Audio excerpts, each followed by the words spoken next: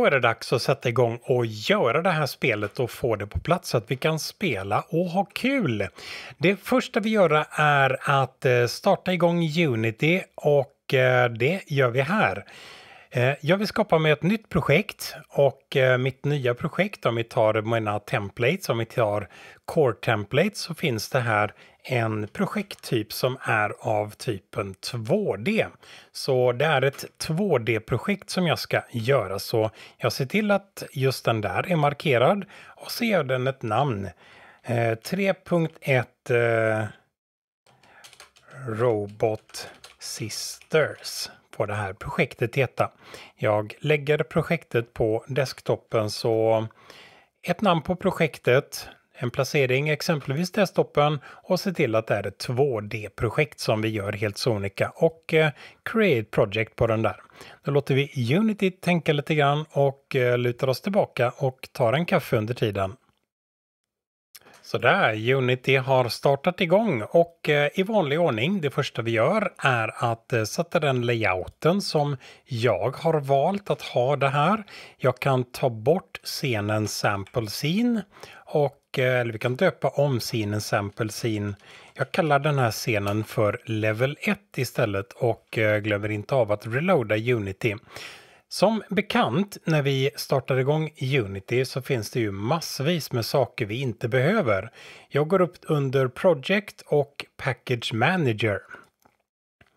I Package Manager finns det i vanlig ordning massvis med saker jag inte behöver. Saker som eh, gör att spelet blir större och tyngre och jobbigt att ladda. 2D-paketet tar vi bort. Vi tar bort alla saker här utom eh, vi kan låta Visual Studio Editor och eh, TextMesh Pro ligga kvar för vi ska ju ha textkomponenter på spelet i alla fall eh, så det står vilken level man är på och vilken score vi har. Alla andra grejer tar vi helt enkelt bort. Så här ser det ut när det är färdigt. Så när det är färdigt så har jag kvar Visual Studio Editor och eftersom jag vet att jag kommer att använda text så har jag kvar även Text Mesh Pro. När du gör projekt, se alltid till att detta är första steget. Eh, att ta bort allting som finns här och lämna kvar det du absolut vet att du kommer att behöva. I mitt fall så vet jag att jag använder Visual Studio för att skriva kod och jag vet att jag kommer att ha textkomponenter. Alla andra prylar tar vi bara bort och det gör vi som alltid i alla projekt. Skulle det vara så att jag vet att det är någon pryl jag behöver, låt oss säga till exempel att jag vet att jag ska göra unit-tester på alla mina skript exempelvis, ja då låter jag unit-tester vara kvar. Men eh, för det mesta så kan du ta bort det mesta utom de här delarna som vi har då valt att ha kvar helt enkelt. Så, nu har vi tagit bort alla saker vi inte behöver så vi kan stänga den där. Okej, i mitt spel så finns det flera olika komponenter som jag ska ha i spelet.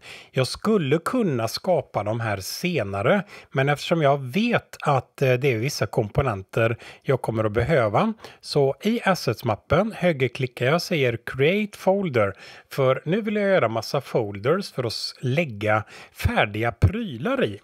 Jag vet att jag kommer att exempelvis vilja ha en prefabs katalog, så den gör jag. Jag vet att jag kommer att behöva ha en katalog som jag kallar för sprites. Vi lägger alla våra bilder i en sprites-katalog, inte en Textures-mapp som vi kanske är vana vid.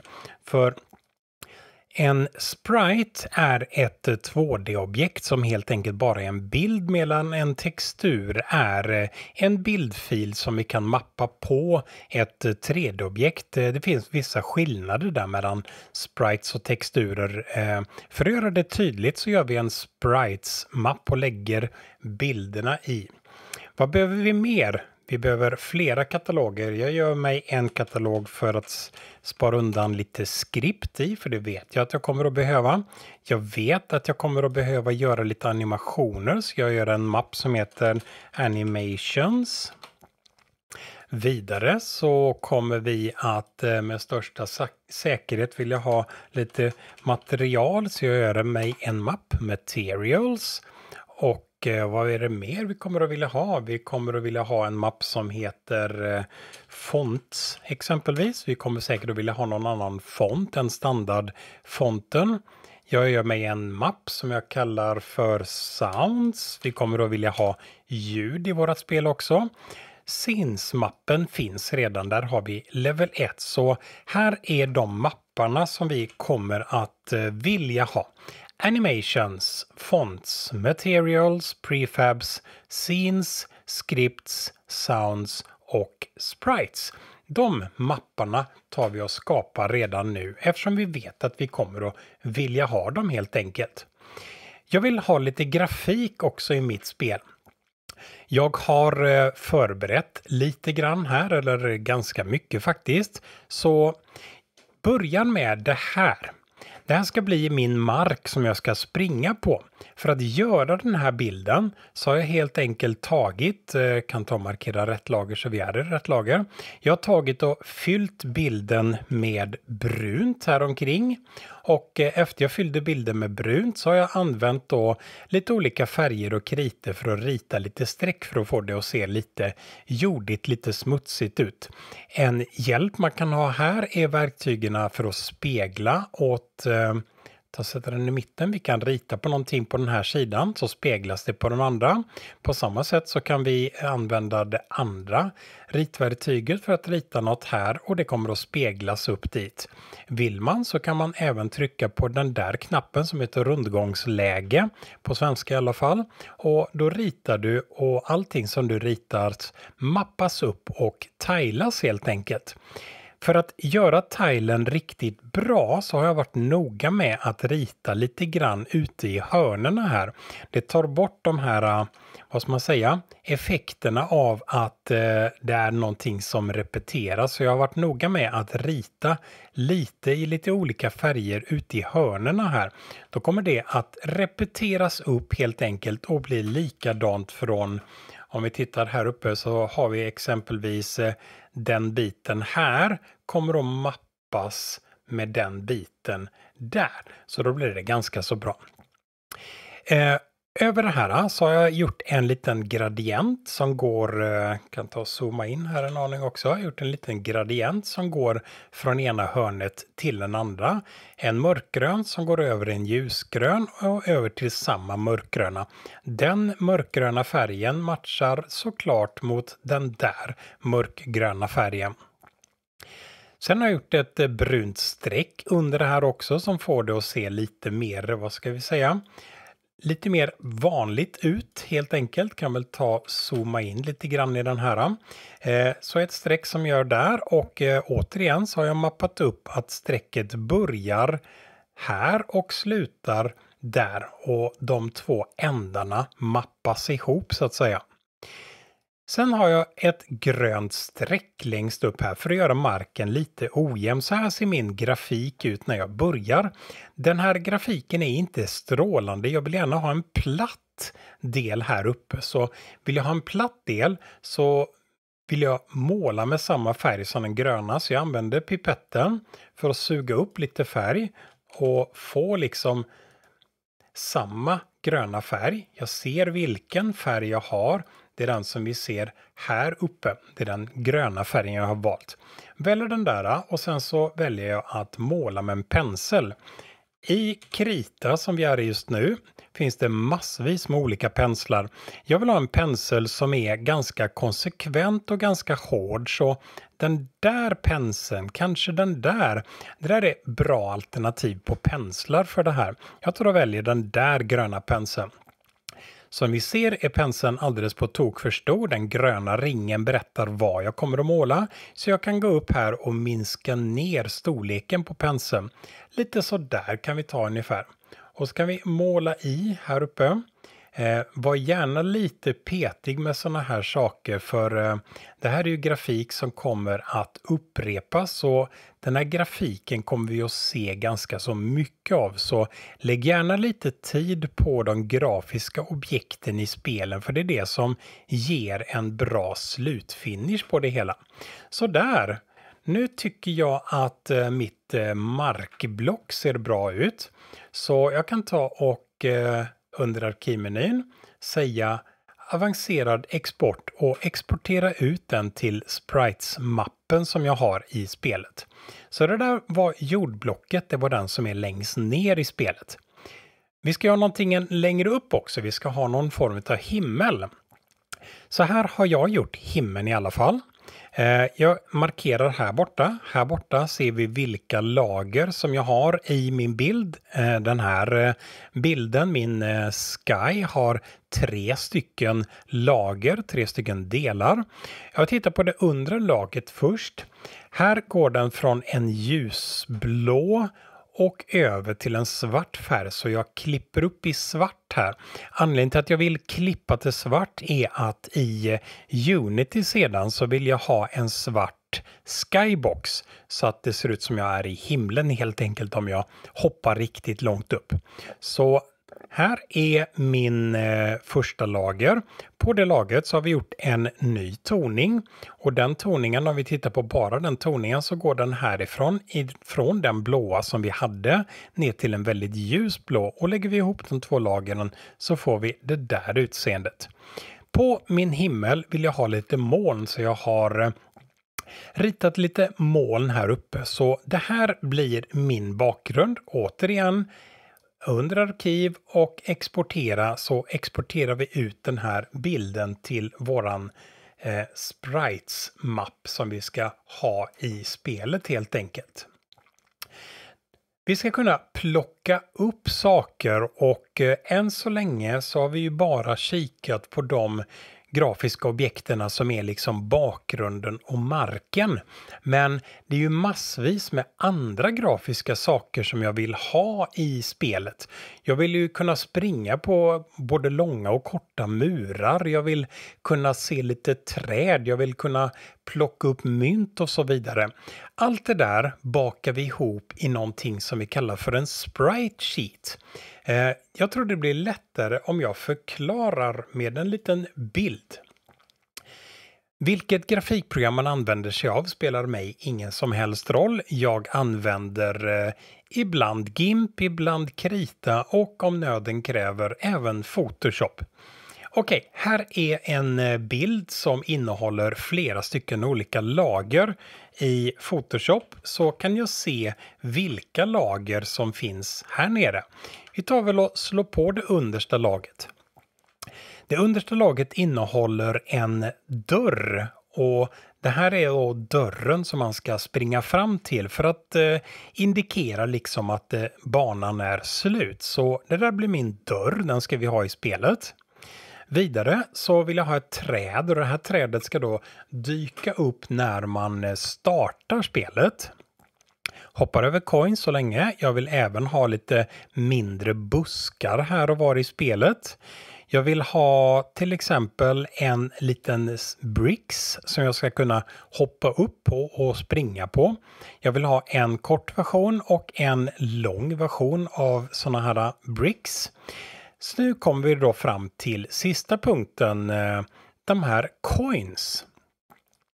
Mina coins ser ut på det där sättet. Det är vanliga coins. Jag tänkte jag tar och gör en roligare version av de här coinsen så det ledde mig fram till de där coinsen.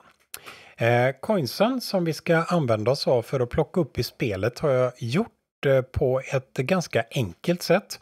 Jag gjorde på det sättet att eh, jag gick in i 3D-programmet Blender, gjorde en eh, cirkel, gav cirkeln lite djup och sedan surfar jag iväg till Riksbanken, självaste Riksbanken. Eh, där kan man nämligen hitta bilder som är i väldigt bra kvalitet. Bilder på alla deras mynt och sedlar och sånt där som de har. Jag eh, tog bilderna på just eh, 10-kronan som de har där eh, ladda ner och la som textur på mina cylindrar i Blender. Eh, med hjälp av lite UV-mappning och sådana där saker så blev bilden precis på rätt. Så jag gjorde en framsida, en baksida och eh, en färg som jag gjorde på eh, runt kanten så att säga. När spelet Eh, eller när eh, mitt mynt var färdigt så var ju myntet ett 3D-objekt. Så det jag gjorde var att jag tänkte hur många frames vill jag ha? Jo, jag vill ha 10 stycken frames, 10 bilder, för jag vill att de här mynterna ska liksom snurra runt sådär. Så jag tänkte 10 frames, så jag tog en bild och så tog jag kort på den rakt framifrån, eller en screenshot rättare sagt. Roterade den 36 grader ny screenshot, rotera 36 grader, screenshot och så vidare. Och så höll jag på så tills jag hade kommit runt liksom ett varv och då blev det de här bilderna som vi har här. Så varför kan man kanske fråga sig har vi då ett sprite sheet? I Unity funkar det på det sättet att vi kan antingen ladda in en stor bild, eller mindre bild också för den delen, för en viss komponent. Eller så kan vi använda Sprite Sheet. Ett eh, Sprite Sheet är en stor bild innehållande massvis med mindre komponenter för mindre bilder som vi vill använda oss av i spelet. Det som är noga med att tänka efter när man gör sådana här sprite sheet är att vi ska kunna dra fyrkanter runt de här olika delarna. Om vi exempelvis tänker på mina buskar här uppe och så tar vi och flyttar på buskarna och lägger buskarna där. Det kommer inte att gå därför att fyrkanten runt det stora trädet kommer att gå in i fyrkanten i busken, så då funkar det inte. Om jag däremot lägger den här busken så att den här blåa fyrkanten som liksom dyker upp, om den här blåa fyrkanten enbart innehåller just det här objektet, då funkar det. Så jag ser till att eh, hela tiden i mitt sprite sheet så är varje delbild en egen bild så att säga. När jag har gjort det där så har jag mina sprites färdiga och fina och det vi gör nu är att i Photoshop som vi är i just nu exportera ut det här som en pingbild och placera den i asset-mappen. Jag har redan gjort de här bilderna så jag behöver inte göra det just nu i alla fall. Nästa grej som vi vill ha i vårt spel är lite ljud också, så här är den bakgrundsmusiken jag hade tänkt att använda. Eh, om vi tittar på volymer och sånt där så verkar det se rätt bra ut. Vi skulle kunna zooma in och titta hur ljudklippet ser ut i början här också. Zoom, zoom, zoom, zoom, zoom.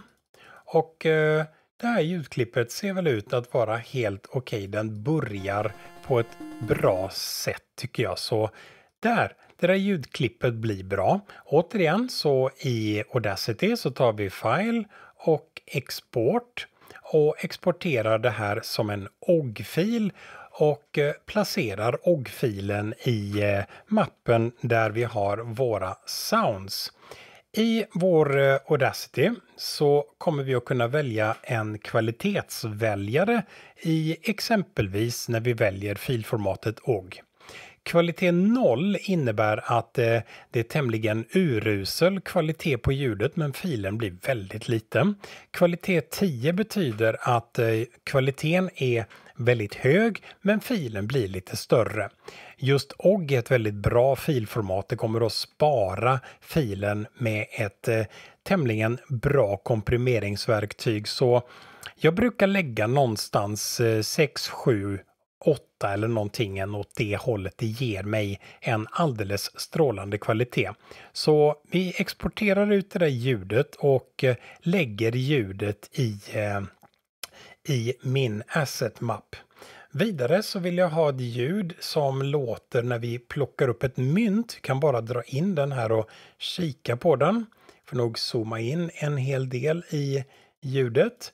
Här har vi i alla fall ljudet som ska låta när vi eh, hoppar till början. Där har vi början. Det här ljudet vill jag ska låta när vi eh, plockar upp ett ljud, vi kan väl, eller plockar upp ett coin, vi kan väl lyssna hur det låter.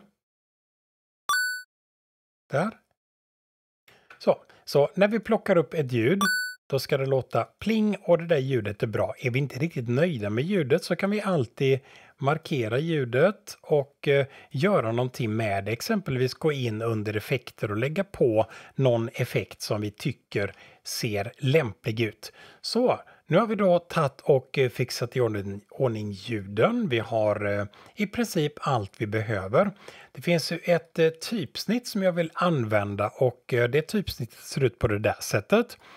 Showcard Gothic heter det typsnittet. Eh, typsnittet är av typen TrueType så den behöver vi konvertera lite grann för att kunna använda den i vårt spel. Men eh, nu har vi nog fixat det mesta tror jag för vårt spel. Den stora pucken är ju naturligtvis att fixa alla sprites. Så nu har vi alla sprites så vi kan väl ta och eh, importera våra sprites in i Unity eller importera alla grejer in i Unity. Vi börjar med vårt sprite sheet, bakgrunden och jordblocket och drar in i sprites-mappen. Så nu innehåller Sprites-mappen jordblocket som är en sprite av typen single.